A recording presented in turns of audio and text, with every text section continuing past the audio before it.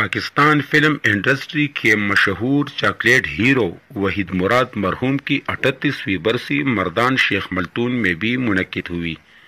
دعا یا تقریب کے مہمان خصوصی نامور سینئر صحافی امجد عزیز ملک تھے جبکہ صدارت ایز اٹ پریزنٹس کے روح رواں انور زیاد نے کی۔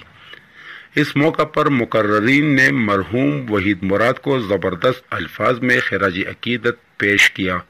مقررین نے وحید مراد کی فلمی زندگی پر روشنی ڈالتے ہوئے جہاں تک جی وحید مراد کی اڑتیسویں برسی کا تعلق ہے، ان کو ہم سے جدا ہوئے تقریباً چار دہائیاں ہونے کو ہے لیکن آج بھی ان کے جو پرستار ہیں، وہ ان کو یاد رکھے ہوئے ہیں۔ اور اس کی بنیادی وجہ یہ تھی کہ وحید مراد صاحب نے بہت خوبصورت اداکاری کی۔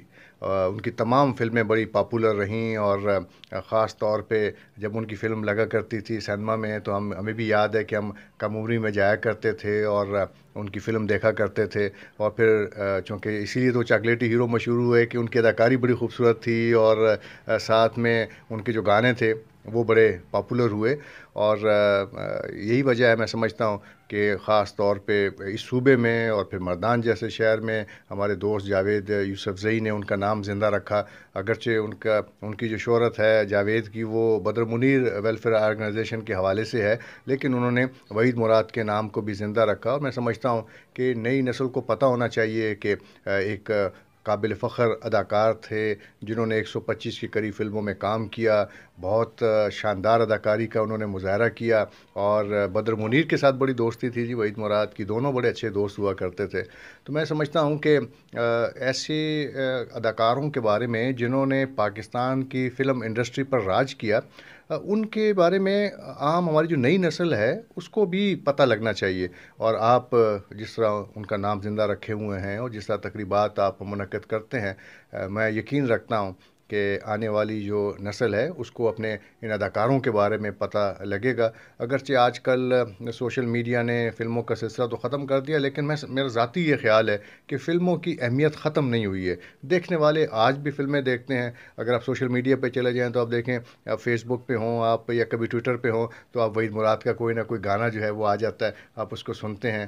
نہ ان کی اداکاری کو فراموش کر سکتے ہیں، نہ وہ جو گانے کے بول ہوتے ہیں وہ آپ کے دل سے نکل سکتے ہیں۔ تو میں میں سمجھتا ہوں کہ اللہ تعالیٰ وحید مراد کے گناہوں کو معاف کرے اور انہیں اپنے جوار رحمت میں جگہ دے، ان کی مغفرت کرے اور ہمیں اپنے جو نامور اداکار ہیں، ان کو ہمیشہ یاد رکھنا چاہیے۔ آج ہمارے پاکستان کے نامور چاکلیٹی ہیرو وحید مراد صاحب کی اٹھتیسویں برسی منا رہے ہیں ہم۔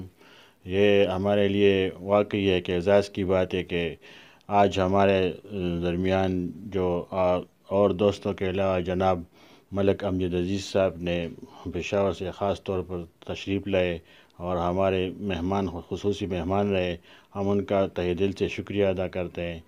اور وحید مراد کے تمام جو پرستار ہے ان کو یہ دعا یا تقریب ان کے لیے ہم کر رہے ہیں۔ تو ہم امید رکھتے ہیں کہ انشاءاللہ ضرور ان کے جو تقریبات ہے دعا یا تقریب کے تو اور بھی ہمارے دوست ادھر جمع ہوئے تو ہم انشاءاللہ اس کے بعد ایک دعا یا تقریب کریں گے۔ تو وحید مراد انیس سو اٹھتیس میں پیدا ہوئے اور تقریباً انیس سو تریاسی میں ان کی وفات ہوئی۔ ہم ان کے لیے جواہر رحمت میں اللہ تعالیٰ سے دعا مانگتے ہیں کہ اللہ ان کی گناہوں کو معاف کرے، ان کو اللہ تعالیٰ جنت پھر دوست نصیب فرمائے۔ دوسری اصل بات یہ ہے کہ بدر منیر جو ہمارے پشتو فلموں کے لیجنڈ ہیرو تھے تو وہی مراد صاحب کی وجہ سے وہ انڈسٹری میں آئے، ان کو یوسف خان شیربانو فلم ملی۔ تو یہ بھی ہم ان کا احسان مند ہے اس لیے ہم یہ سمجھتے تھے، یہ ہم نے یاد دلایا یاد دلاتے ہیں کہ بدر منیر کی وہ محسن تھے۔ تو اس لیے ہم نے ان کو اور ان کے، خاص کر ان کے پرستاروں کے لیے یہ دعائیں تقریب مردان میں اپنی رہائش گاہ میں منعقد کی۔ اور میں ان تمام دوستوں کا اور جناب ایز ایٹ پریزنٹ کے جناب انوزیات یوسف زی صاحب اور جناب اجاز بھی گناہ صاحب کا بھی بہت مشکور ہوں۔ باقی دوستوں کا بھی بہت مشکور ہوں۔ والسلام۔